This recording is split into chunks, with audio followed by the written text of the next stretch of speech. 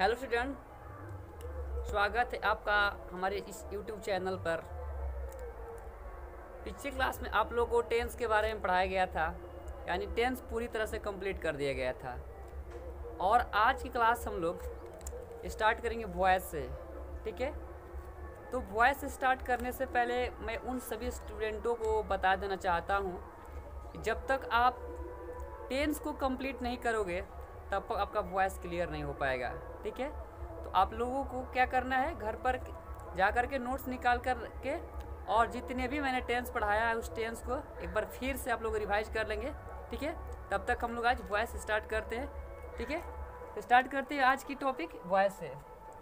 तो वॉइस का मतलब होता क्या है, ठीक है? वॉइस का मतलब होता है वाच्य, हिंदी में इसको क्या कहा जाता है? वाच्य कहा जाता है, ठीक है?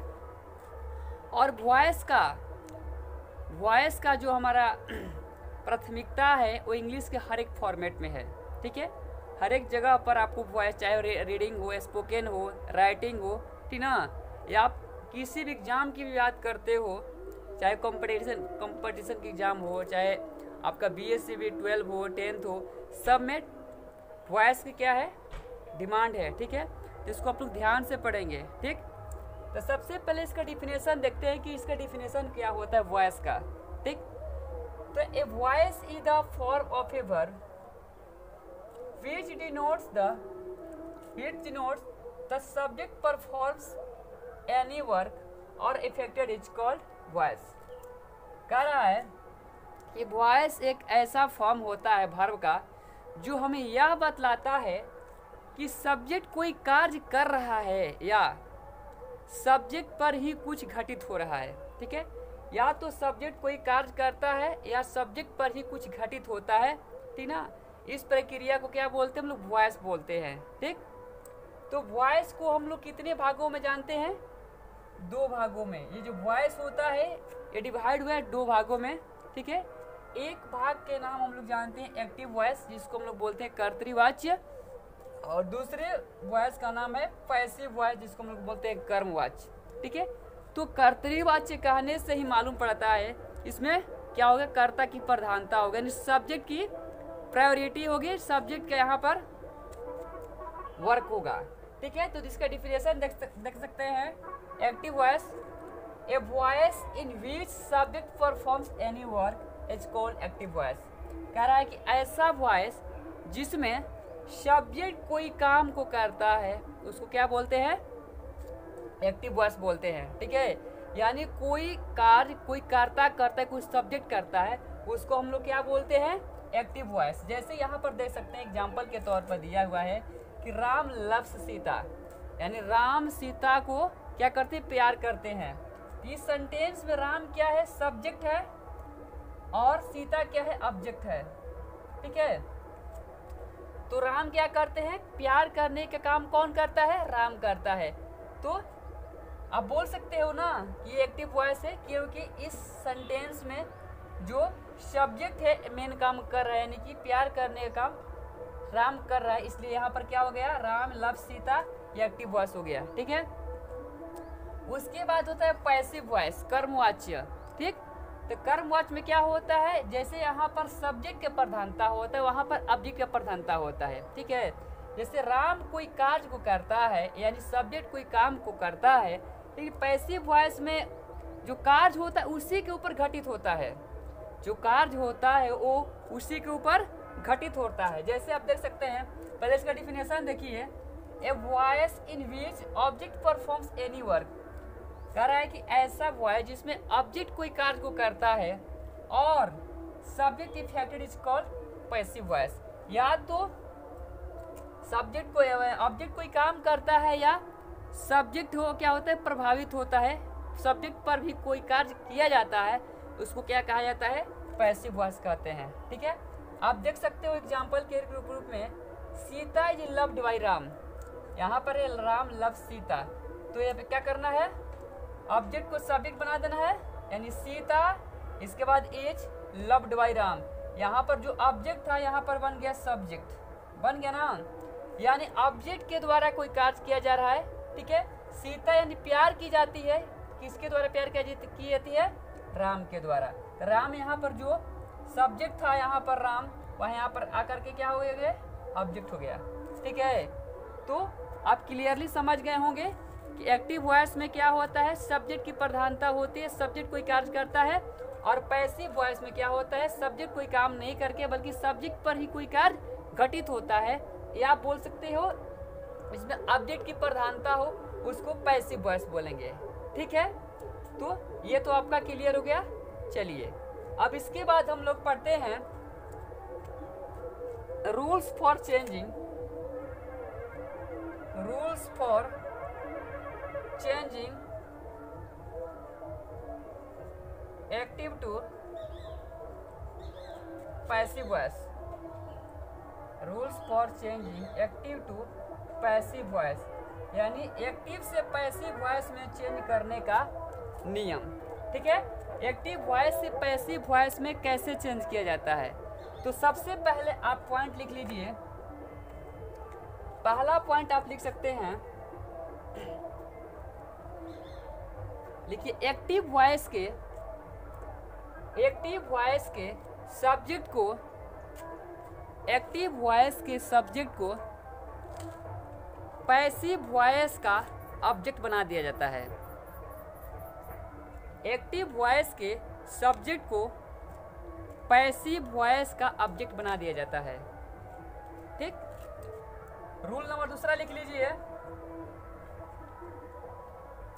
रूल नंबर दूसरा लिख लीजिए। पैसिव वॉइस में पैसिव वॉइस में सब्जेक्ट नंबर और पर्सन के अनुसार सब्जेक्ट नंबर और पर्सन के अनुसार हेल्पिंग वर्ब का प्रयोग किया जाता है। हेल्पिंग वर्ब का प्रयोग किया जाता है।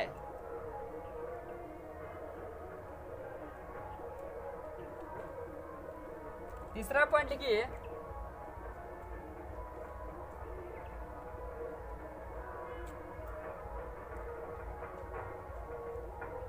यदि सेंटेंस में यदि सेंटेंस में somebody nobody everybody someone no one no one they people से हो तो एटी से हो तो इसका लोप हो जाता है। एटी से हो तो इसका लोप हो जाता है। यानी कहने का मतलब है कि somebody nobody everybody someone no one से अगर सेंटेंस स्टार्ट करते हैं तो पैसे वॉइस में इसको हम लोग क्या कर देते हैं? हटा देते हैं। ठीक है? नेक्स्ट रूल लिख लीजिए। यदि यदि सेंटेंस यदि सेंटेंस कोई प्रोनाउन से स्टार्ट हो तो यदि सेंटेंस कोई प्रोनाउन से स्टार्ट हो, यदि सेंटेंस कोई प्रोनाउन से स्टार्ट हो तो नोमिनेटिव केस को नोमिनेटिव केस को नोमिनेटिव केस को क्या करते हैं? ऑब्जेक्टिव केस में चेंज कर देते हैं। नोमिनेटिव केस को ऑब्जेक्टिव केस में चेंज कर दिया जाता है। नोमिनेटिव केस को ऑब्जेक्टिव केस में चेंज कर दिया जाता है। जैसे देखिए, जैसे आई है, ये भी पूर्णाउन है, आई का, ये चूँकि क्या है नोमिनेटिव केस है। आई क्या है नोमिनेटिव केस है। नोमिनेटिव केस और ये हो जाएगा आपका ऑब्जेक्टिव केस ऑब्जेक्टिव केस ठीक है?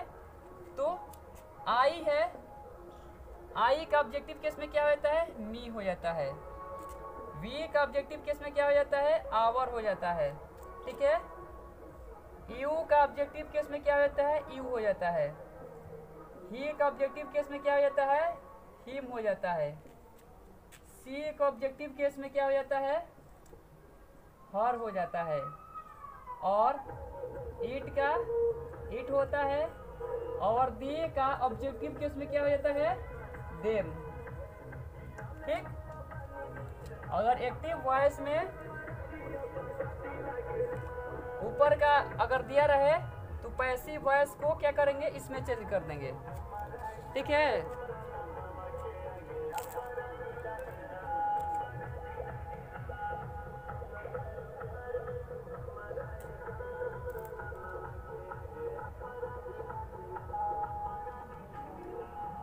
और लास्ट में लिखिए, और इसके बाद बाई का प्रयोग, बाई का प्रयोग आवश्यकता अनुसार किया जाता है। बाई का प्रयोग आवश्यकता अनुसार किया जाता है।